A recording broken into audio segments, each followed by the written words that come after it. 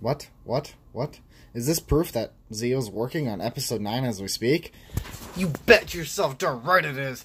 That's right. I'm working on episode 9. It's going to be released this Friday, but this Friday is going to be special because at 9 p.m. EST, we are premiering the episode. What does that mean, you're wondering? Well, that means we're going to watch it live with you guys. It's going to be just like a movie premiere, except you can talk to us and everything else. We're going to watch it with you, and then we're going to have a live stream afterwards to talk about the episode and just hang out with you guys.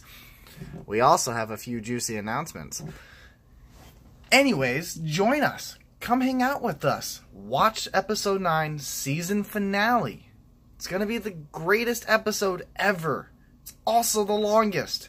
I'm having a headache just making it right now. But anyways, it's going to be so much fun. 9 p.m.